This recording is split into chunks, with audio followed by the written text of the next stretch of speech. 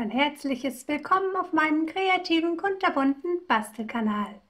Ja, heute mache ich mit bei der, ta, ta, ta, wartet, ich kann nicht gleich runterziehen, so, bei der sieben Teile Upcycling Dankeschön Challenge von der lieben Birgit.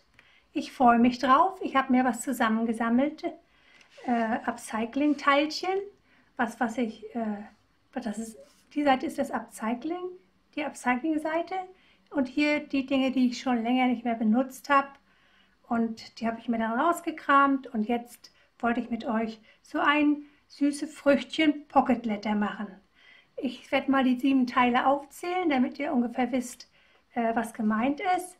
Es soll Upcycling mit dabei sein und Sachen, die man lange nicht benutzt hat. Ähm, die soll man in dieser Challenge benutzen. So, hier habe ich dann schon mal ein eine Teeverpackung. Da habe ich hier überall schon was ausgeschnitten, die Früchtchen, die da drauf waren. Ich finde das eine sehr schöne Verpackung und der Tee schmeckt auch noch gut. Hier mit dem Grün und mit dem Rosa, das gefällt mir. Ja, hier habe ich noch ein paar Reste, ich weiß noch nicht, ob ich das noch brauchen kann, aber ich gucke mal. Vielleicht ein bisschen von dem Grünen. Und dann habe ich hier noch was von einer Kiwi-Verpackung. Da werde ich auch ein paar Blätter ausschneiden, denke ich. Und hier habe ich noch was von einer äh, Orange, dem Saftsack. ein Saftsack war das. Mit natürlicher Frische. Natürliche Frische. Vielleicht könnte man das, vielleicht könnte man das hier noch aufschreiben. Wartet mal, wie das aussieht. Gehe ich gleich mal. Natürliche Frische. Hm, ist ja drollig. Mal sehen, was hier irgendwie mit reinpasst. Ist ja auch alles natürliche Frische, die frischen, süßen Früchtchen. Sind wir schon gleich beim Arbeiten? Ich bin gerade beim Erklären gewesen. Ach ja, wird, wird vielleicht reinpassen. Wir gucken mal. Ja, das ist der Saftsack. Den verarbeiten wir dann noch. Mal gucken, wie es klappt. Da können wir auch noch schöne Blätter draus machen. So, hier habe ich noch das Teilchen von dem ausgeschnitten. Da waren so zwei drauf, aber ich glaube, ich brauche bloß das eine hier. So. Dann habe ich hier Äste.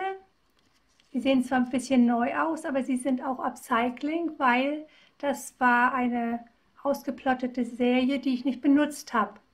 Also nicht benutzt zum äh, Verkaufen, also zum, zum Erstellen für Ephemeras. Und deswegen habe ich die ja noch übrig. Und die kann ich ja nicht wegschmeißen, die muss ich auch noch verbasteln. Deswegen liegen die hier.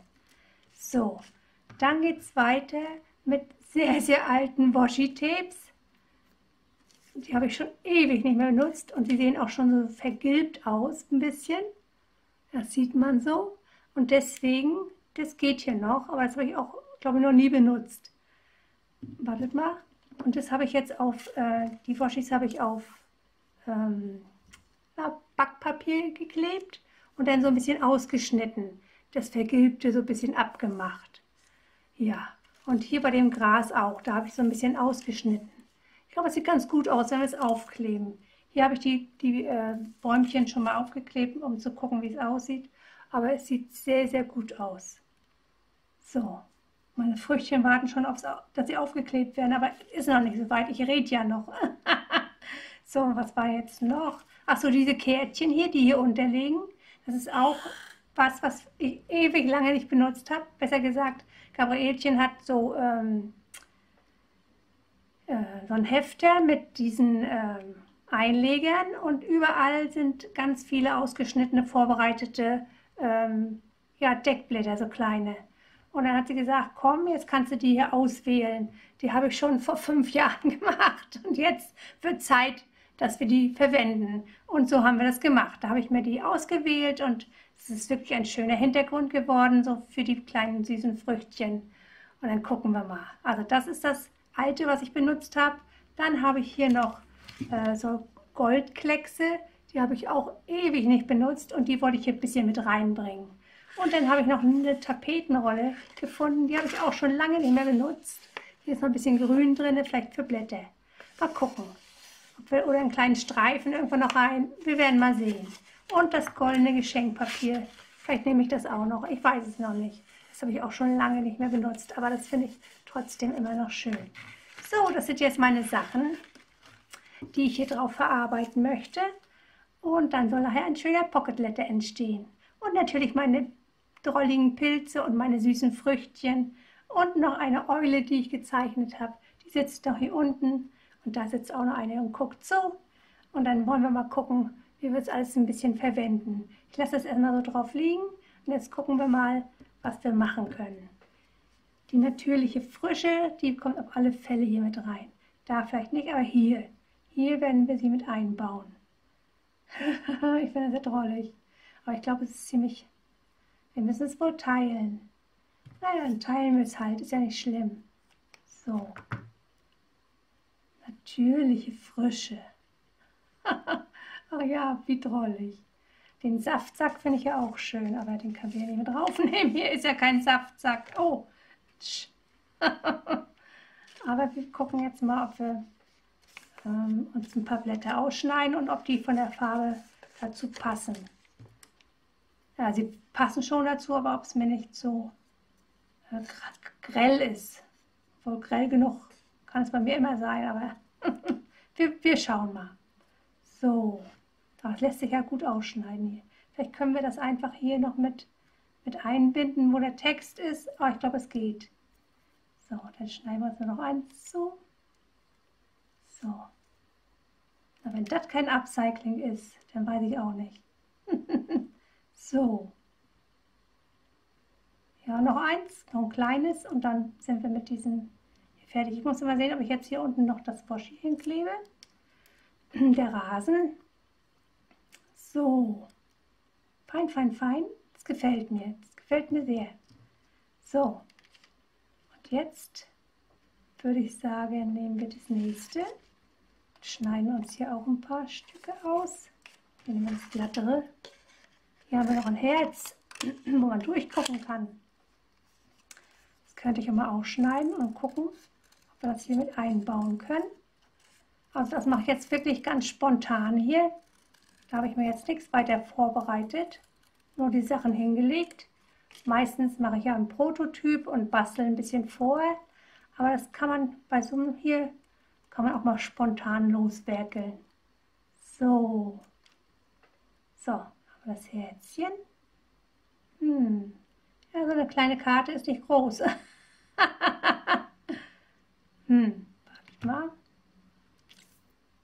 Hier könnte es hinpassen, dann müsste ich das hier vielleicht hier mit reinmachen. Dass es im Herz drin ist, die Früchtchen. Wartet mal. Ich habe hier noch die Tasse. Wo ist sie jetzt? Können wir das so machen? Das ist das hier so rein. Na, sieht nicht gut aus. Halb Tasse, halb. Hm, nee, schade, das passt nicht richtig. Hm, das passt jedenfalls nicht. So, dann probieren wir hier nochmal. Ich mag ja nicht, wenn da irgendwo was frei ist, wenn man sich schon was ausdenkt. Oder hier so ein bisschen rein, nur. Ja, das geht. Das lässt sich machen. Aber wir finden wir eine Lösung. So. Ja. Dann schneiden wir hier ab. Dann haben wir das Herzchen auch verwendet. Ach ja, das gefällt mir. Schön. So. Da war auch was von benutzt. Da auch. Haben wir noch ein bisschen Text die Waldbeere. Oder, ja, vielleicht nehmen wir das auch noch. Es war jetzt ein bisschen wahllos mit den Texten, aber wieso nicht? Kann man ja auch mal machen. Die Waldbeere. Vielleicht hier mit drauf. Hier wird es ja passen, aber passt das nicht rauf. Und hier, hier passt es hin, sogar zu der schönen kleinen Himbeere. Ja, passt. Oh Gott, jetzt ist ja mal was anderes hier. Gefällt mir, gefällt mir. Und Tee, Tee können wir auch noch nehmen. Ganz kleines Wort Tee. Halte ich überhaupt rein hier? Sagt Bescheid, wenn ihr nichts seht. so, Tee. Na, Vorsicht, fällt der Tee noch der Eule aufs Auge. Nee, so was. So. T, T, T, das kann jetzt hier hin. So. Vielleicht hier so eine Seite, wenn der Ast Platz lässt oder weiter rein, hier geht ja auch. Oder hier an der Seite. T. Ja. Ja, das, nee, sieht doof aus, aber ich schieb's mir nachher noch hin. Wartet mal. Ja, gucken wir mal. Aber hier mit drauf kommt es. Oder so in der Mitte. So. Ja, T, T, T haben wir. Kann, ne, kann nicht. Was steht denn hier noch so? Verantwortung von Beginn an. Hm, hm, hm. Nachhaltigkeit. Naja. Nee, das passt nicht. Haben wir hier noch was? Hier haben wir noch mal Waldbeere. Fruchtig aromatisch. Ach, das können wir noch nehmen. Ich finde es schön. Gott, das habe ich früher gemacht. Wirklich wahr. Habe ich mir, bin ich in den Laden gegangen und habe nach Kisten gesucht, die hübsche Farben hatten. Und die habe ich dann mitgenommen, mehr gefragt, darf ich mir das Leergut mitnehmen? So, vor zehn Jahren bin ich angefangen. Heute oder morgen, morgen vor zehn Jahren, habe ich angefangen mit, ähm, mit YouTube. Ja, so schnell ist die Zeit vergangen. Und es hat, macht immer noch Spaß. So, ein bisschen schief, aber schön. Fruchtig. Hierhin. Ja, die Zwiebel. Fruchtig aromatisch. Genau, das machen wir. Das gefällt mir. Bisschen lustig muss es ja auch sein. So, ich glaube, jetzt haben wir im Text genug gesucht, oder? Haben wir noch ein fruchtiger Genuss? Ich werde verrückt. Das passt ja auch. wir kommen hier mit dem Text wirklich gut hin, wie ich, wie ich gerade sehe. Ach ja, der fruchtige Genuss. Meine Früchtchen sind zum Genießen. So, wohin damit? Der fruchtige Genuss. Mhm. Hier noch mit dran. Oder hier. Hier unten kommt noch das Gras hin. Denn hier oben. So, jetzt müssten wir eigentlich hier noch einen kleinen Text hinmachen. Da finden wir jetzt auch noch was.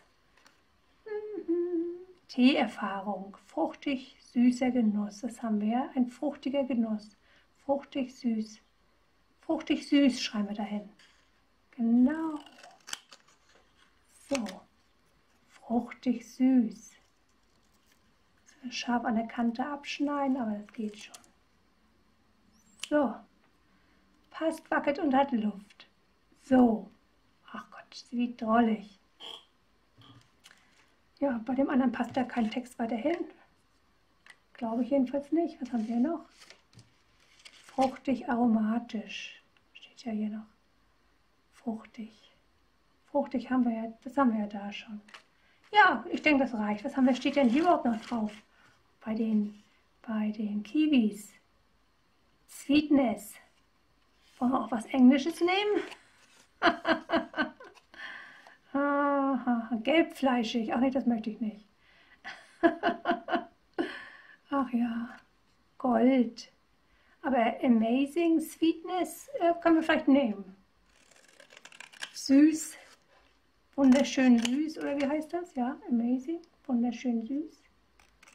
Das, das können wir noch nehmen. Mein Gott, Englisch, jetzt geht's los.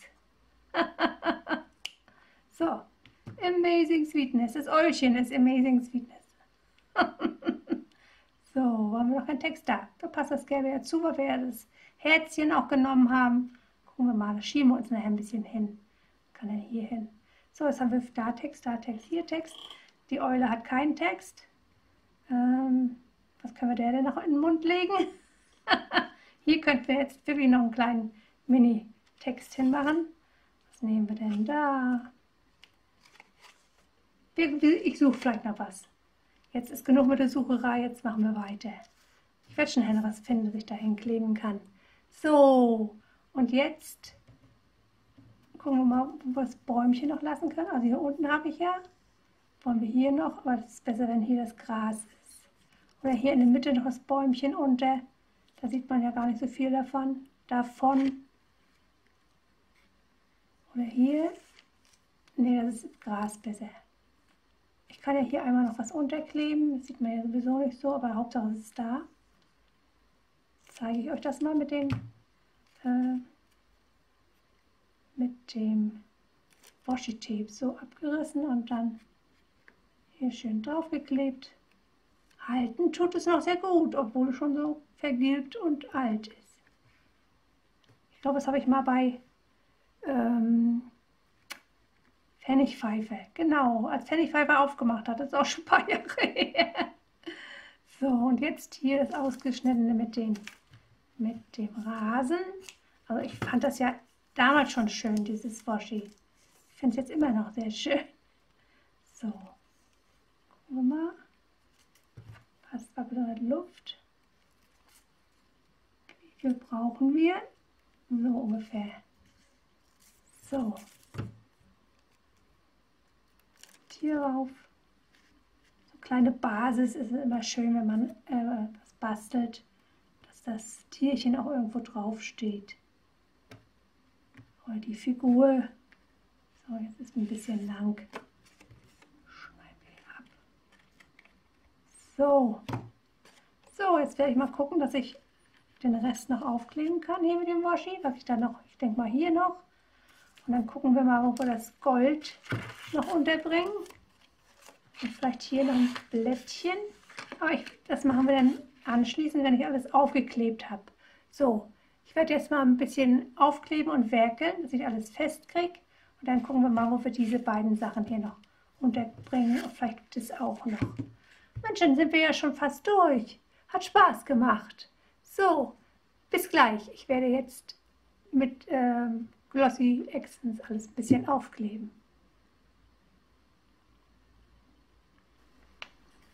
So, fast alles aufgeklebt. Hier habe ich noch die ähm, sag mal schnell, Tapete, wo ist sie jetzt? Ach hier, hier ein bisschen was von der Tapete genommen. Und zwar habe ich jetzt das dunklere bisschen heller gemacht, indem ich die Tapetenblätter drauf geklebt habe. Dann ist das nicht ganz so dunkel, das passt mir besser. Und jetzt wollte ich noch schnell mit euch das, die Goldsprenkelchen hier oben noch mit draufbringen. Und dann kann ich das äh, kleine Schildchen da noch hinkleben. Und dann klebe ich noch die, äh, die Kärtchen auf die Basis, auf die beige und dann sind wir schon fertig. So, gucken, ob es geht, ob es überhaupt noch funktioniert hier mit den, mit den Dingen. Schon so lange Haare. Ja, ist gute Qualität, funktioniert noch. ich glaube, die waren mal von La Blanche. Das ist ja auch nicht schlecht ich denke, das wird ja auch nicht schlecht. so. Ja, das macht sich ja gut. Sowas ist eine schöne, ähm, ein schönes Bastelmaterial, finde ich. Obwohl hier dieses ähm, Blattgold, das gewisse Blattgold auch nicht schlecht ist. Das gefällt mir auch. Wartet mal, nehmen wir mal den Text. Das auch ein bisschen uns danach richten. Ja, hier machen wir das denn hin.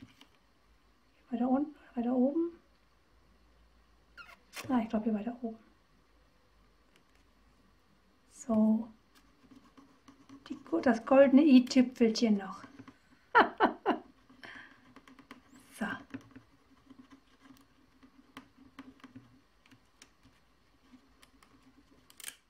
Ja.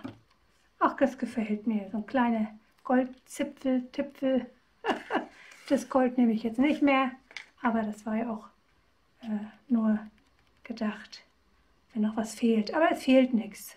Ein fruchtiger Genuss. So. Ja, oder gerade. Na, wir gucken gleich mal. Klebe ich die anderen noch drauf und dann sehen wir uns gleich wieder. So, da bin ich wieder. Alles fein sauberlich aufgeklebt. Ich könnte sie euch eigentlich auch noch mal so vom Nahen zeigen. Die habe ich schon reingesteckt.